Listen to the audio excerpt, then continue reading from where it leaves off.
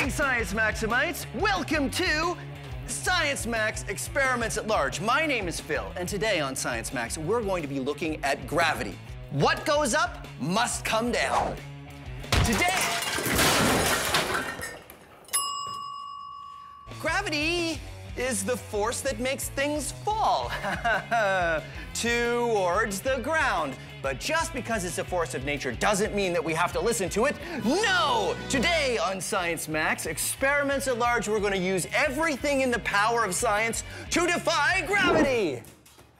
Ha We are going to be making a hoop glider. Now, hoop gliders may not look like much, but they fly just like paper airplanes. Woohoo! And here's how you can make a hoop glider. Here's how you can make a hoop glider all your own. This is what you need. Index cards, scissors, straw, ruler, pencil, and of course, science tape, which is just like regular tape, except you use this kind of tape for science.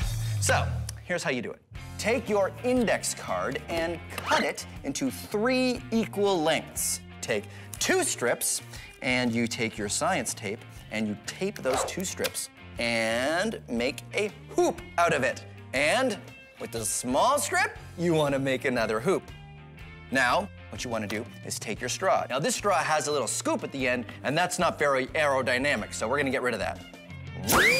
Ooh, maybe it was kind of aerodynamic. All right, now that we've got the straw, you have to align the hoop and the straw together. So here's what I like to do. Take some science tape, and stick it on the straw and then align it so that it's perfectly straight and then stick it on. Looks straight to me, all right? The small hoop also has to be perfectly aligned with the first hoop. So again, put the tape on the straw first, then align them up and then start looking down through it, make sure it's aligned. There. Once you have it all taped together, you're done your hoop glider. And it flies just like a paper airplane.